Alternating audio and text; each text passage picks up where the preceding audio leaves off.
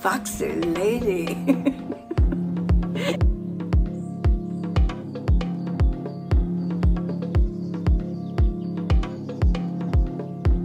this is my grandson's fox. He is obsessed with fox. It's true. He loves foxes. And he just said that I could have this fox. He's crawling around right here.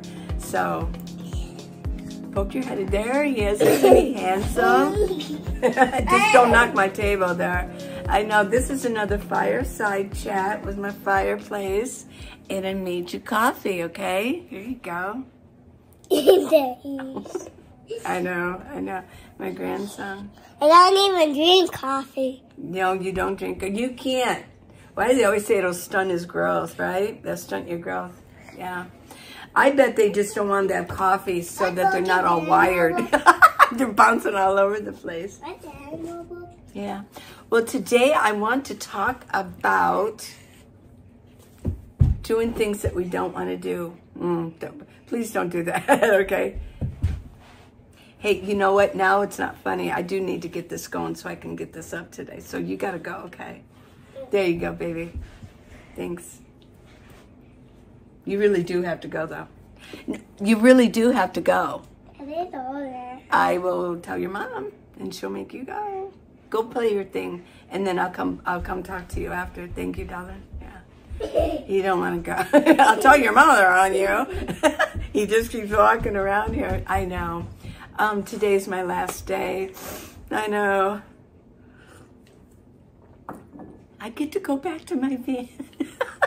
it's the truth. I really miss my van. I miss Tucson. Um, you know, the thing is, this isn't my home. And I love my family so much. I think four days is about the limit, yeah. And uh, after a while, then it becomes... Um, it becomes a lot of work for them here. I mean, I'm I'm somebody I've been planted into their lives and they don't want me here for too much longer. You know, they want to get back to their life too. But I will uh, definitely miss my granddaughter because we're just a little bit closer. And uh, she kind of, I, I can tell that she really wishes that we live closer together. But what I want to talk about today is doing things you don't want to do. I saw this really, really informative, really cool short. And it talked about the anterior mid-cingulate cortex, and it's in our brain. And what it does is they say they're starting, they're really studying it. They found that when people do add on something onto their lives and do it, even though they really don't want to, it grows larger. It does. And the benefit of it is they found that when people, um, when, as people get older, you know, part of the brain can kind of diminish, but that, if, if that got, it remains large in the brain. And they're just not talking about doing, adding on maybe like oh, three hours of extra work a day or even a week or going to the gym three hours more a day or a week. It's adding it on when you don't want to do it, but you're doing it because it's a challenge for you and you really want to challenge yourself. It grows. But the best part of it is, is they found in athletes, it's a very large in the brain. It's called the anterior mid-cingulate cortex. And they found it's very large in athletes, okay? And um, they're, they're realizing that it might not just be the thing that, that, that keeps you, that keeps you longevity, but it's the actual thing that gives you the will to live, which if you think about it, the will to live, I mean, I've heard people say, oh, I hope I die young or that, yeah. Um, I've always said, and I really do mean it, I, I, hope I live a long time. I think I have a very strong will to live and I can, I can handle challenges. I can handle those things. And I think some people can handle more. But I do believe, I think what they're saying is that what they're starting to study now, that that might be the area of the brain, the anterior mid-cingulate cortex, cortex might be the actual area that gives you the will to live.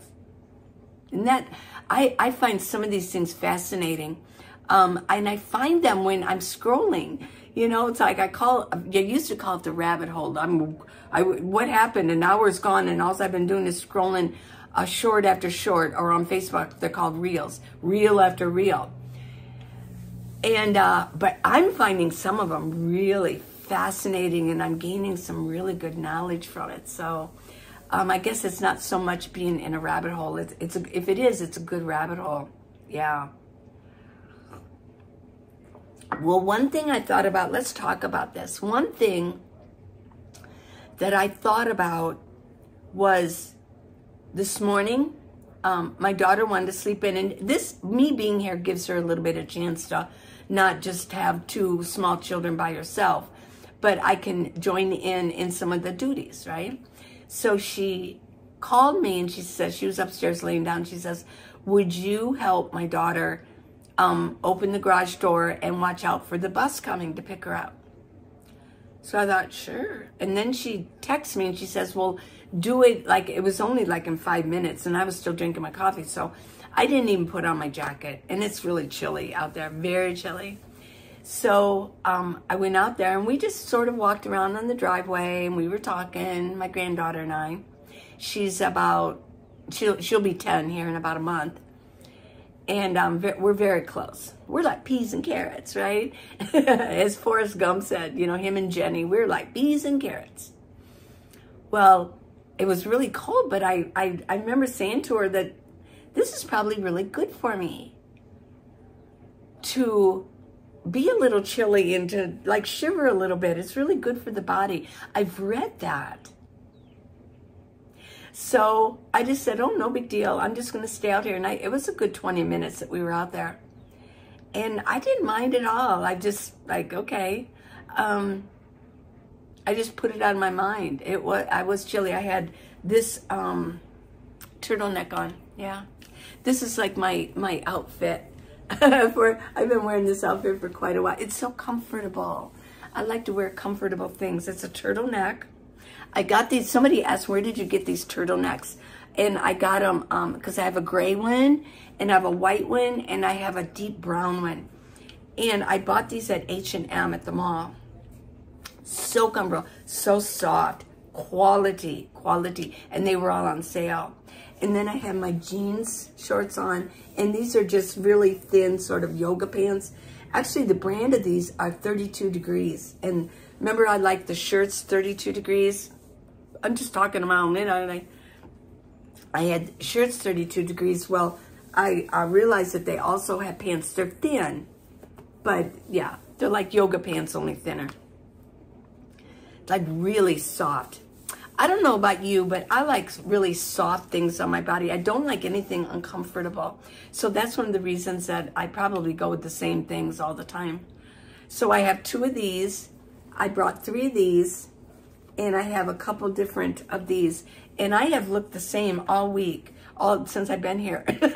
I have not changed my, I, I have two, so I've washed them, but I did, then I put on my clean outfit. I feel like um, Steve Jobs you know, Steve Jobs and some of these other um, people that um, they're, I'm not saying I'm a genius, okay? Although I think my singular mid, I think my anterior mid-singular cortex is large because I do a lot of things I really don't want to do. So maybe I am a genius, right? But they have, if you see in the closets, they have the same thing, but they have a whole bunch of them. they have turtlenecks. Steve Jobs wore turtleneck. They have turtlenecks. They have a pair of jeans and they have a whole bunch of jeans. And then they have a whole bunch of black turtlenecks. Maybe a white one or something like that. Well, that's me. That's me. I know. Um, more coffee. That's why I'm all chitter chatter. So let's talk about doing things you don't want to do. I will honestly say, I'll honestly say, I'll be honest. I really didn't want to fly. I really didn't want to get out of my comfort zone. I really didn't want to leave my routine. I knew when I got here I wouldn't be going to the gym. I knew that I could only take so many things with me. You can't take big jars of like, so face stuff or my hair stuff. So I knew I'd be at my daughter's mercy. Like, can I use your stuff? because the TSA, they'll just throw those things away, you know, and I spend money on those things. So I really, and then the motion sickness, motion sickness going on the plane. I know, I'm admitting it. I really, I was kind of fighting coming. I thought, oh boy, it got closer and closer and closer. I'd already paid, bought the tickets. But when you buy the tickets and it's a long ways away, you don't think too much about it, right? But then it started getting closer, like two weeks, then a week. I thought, hmm, I've already paid for the tickets. You know, I, I know it sounds really bad, but I'll admit it. You know, I'll be honest. I really didn't want to come because of the, I didn't want to be motion, get motion sickness and then be sick. Because I remember what it was like on that whale ship. I was sick for two, three days. I mean, what fun is that, right?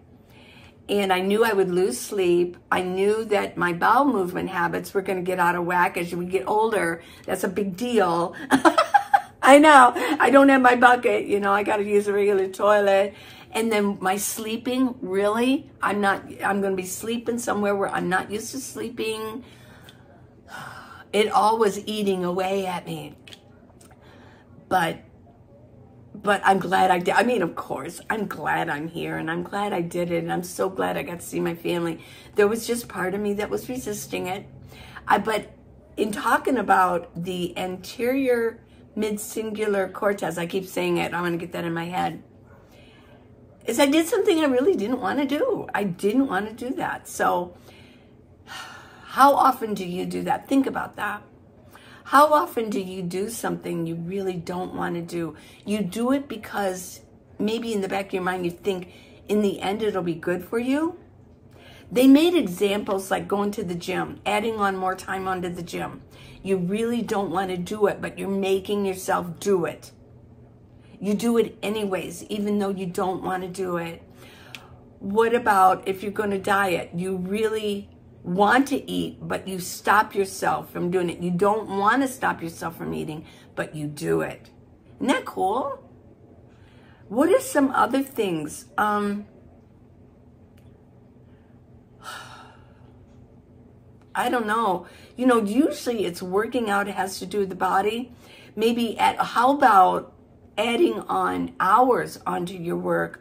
Maybe, I remember at Amazon, they used to offer overtime after, and you work 10 hours anyway, 10 hours. They say after eight hours, you lose all motivation. That extra two hours of working eight, when you, once you reach eight hours, your production quality goes down. You're not really producing a lot. But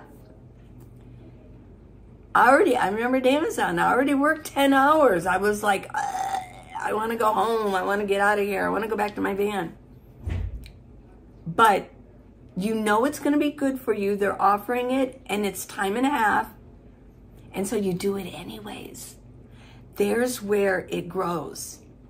The will to live gets stronger and stronger and stronger. You know what I'm saying? Yeah, I mean, what about like uh, cleaning the bathrooms? I was telling my daughter, oh my gosh, she has four bathrooms. She has four main bathrooms. Where does she find the time to clean those? I mean, and it's it's it's a large house. I know I'm kind of backed into here, but this is the one area that I feel comfortable where my grandson isn't, and some of the this is a little bit more colorful, and some of the walls are like beige, and yeah, and um, I would let you know there's four bedrooms upstairs, two bathrooms, and then there's a bathroom here, and then down in the basement. I would go down there and film, but my grandson's down there with the TV going. So, I know. Um, but cleaning the house, I'll bet she really has to make herself clean those bathrooms all the day, all the time. Yeah, I bet that's just the way it is. But she makes herself do it. How many times do we have to go to work? And maybe we could have gotten away with, we could have called in or something, but we made ourselves do it. That area grows. What do you think? Here's something else I thought about that coincides with me being cold outside, out, out in the driveway. there was a little bit of wind and it's pretty, it's gray skies again today. Uh-oh, here he comes again. We'll let him, we'll let him amuse us. Is there anything you want to say to everybody? No, he goes, he's been watching Three Stooges, but don't knock anything over. Okay, now you gotta go. Because now you're just being silly. I have And been give me- playing on the fish for ages. Give me my phone right there, baby.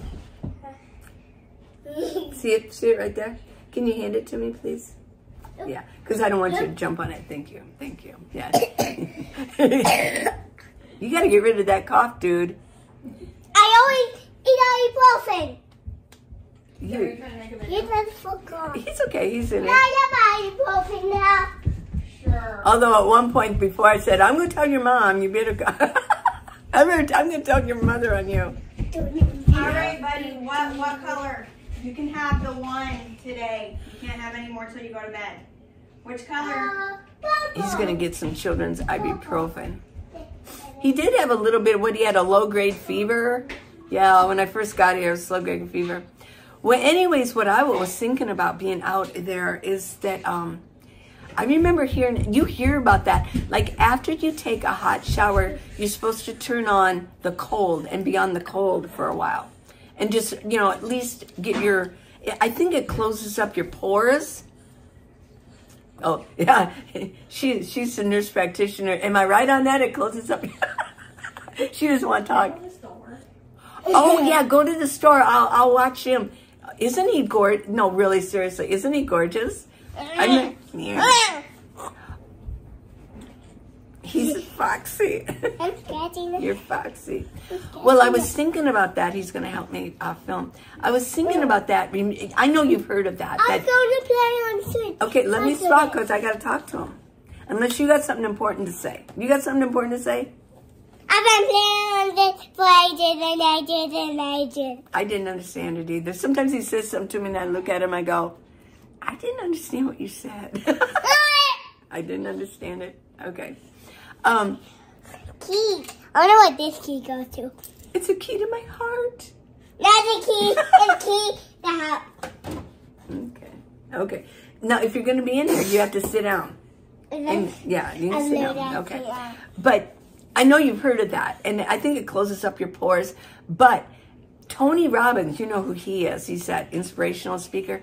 Tony Robbins, that zillionaire, he said that what he does, he does it because it's a challenge. He probably heard that it does increase the size of your an, an anticular mid, mid anterior mid singular cortex that increase. He actually stays under the cold water for a good five minutes because he knows he doesn't want to do it, but he knows it's good for him.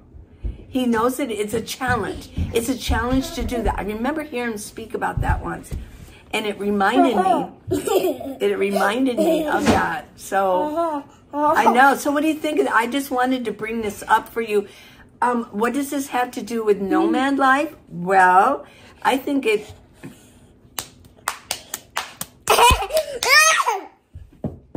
Okay. I think it has a lot to do because a lot of us, there's a lot of things maybe we don't want to do in our nomad life. We just don't want to do it. Um, we have a sand pit in the backyard. what is it? A sand pit in the backyard. A sand pit? In the backyard. I heard that. I understood that. The backyard.